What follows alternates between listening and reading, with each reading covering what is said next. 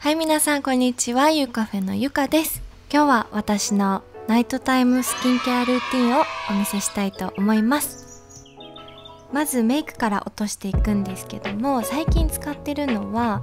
この HALO、ハローでいいのかな？っていうスポンジなんですけど、これだけでぬるま湯をつけて、これでこう拭き取るような感じでお化粧を落としていくっていうそのお化粧落としの段階で化学物質を使わないようにしようみたいなアイテムが出たので気になって買ってみたら意外と良かったのでハマってます。お化粧落としのオイルとかクリームなしで本当にぬるま湯だけで濡らして拭き取るだけで結構こんなに落ちちゃうんです。でもちろんあのアイメイクとかリップっていうのは別で落としてからこの商品を使ってます。でこういう商品ってやっぱりアフターケアがかなり大事だと思うんですけども石鹸できれいに洗って湿気が少ない場所に乾燥しやすい場所に干しておくっていう感じにしてます。そしたら洗顔に入ります。豆乳イサフ。あれ？今日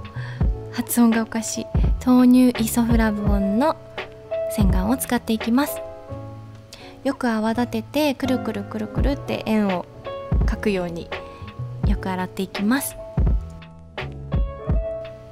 フェイスラインとかに泡残りがないようによくすすいでいきます。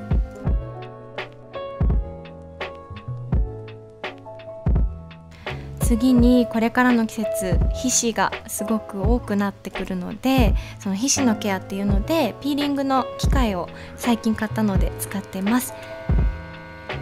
これはアベルナっていうピーリングの機械なんですけど皮膚科とかでアクアピーリングってすごく韓国で皮膚科に行くと簡単にできるピーリングのケアっていうのかな。でそういうのがお家でできちゃうっていう商品です。私は夏にすごくニキビができやすいタイプの肌質なのでこの時期のケアがめちゃめちゃ大事になってきます。なのでこれ使ってからなんかニキビができにくくなったしできてもすぐこう落ち着くようになったっていうのかなっていう感じがします。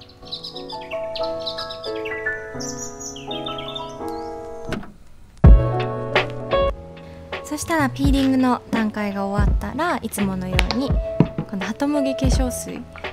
コットンにのせて顔を軽く拭き取っていきます。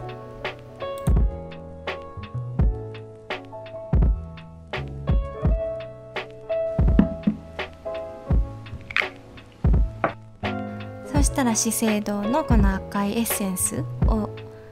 顔にのせていきます。これはしっかり中に浸透させるような感じでギュッギュッと中に入れていきます。そしたらピーリングをした日は必ずマスクで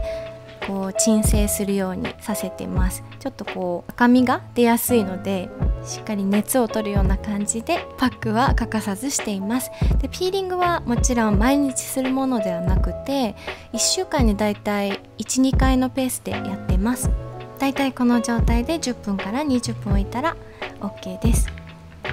中にどれぐらい余ってるかとか皆さん気になりませんか？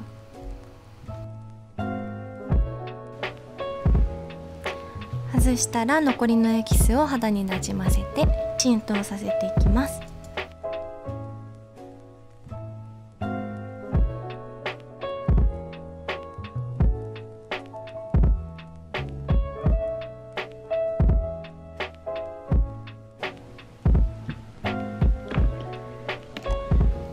そしたらフィジオゲルを使って肌を保湿していきます。そしたら私のナイトタイムスキンケアルーティンは完成です、えー、この季節というかこれからの季節私は本当にこう肌にちょっといつもよりも気を使ってあげなきゃいけない時期なんですけども皮脂が多くなるにつれて何ていうな皮脂が滞っちゃってニキビができちゃうタイプの人は私のこのスキンケアルーティンが結構ぴったり当てはまるんじゃないかなと思うので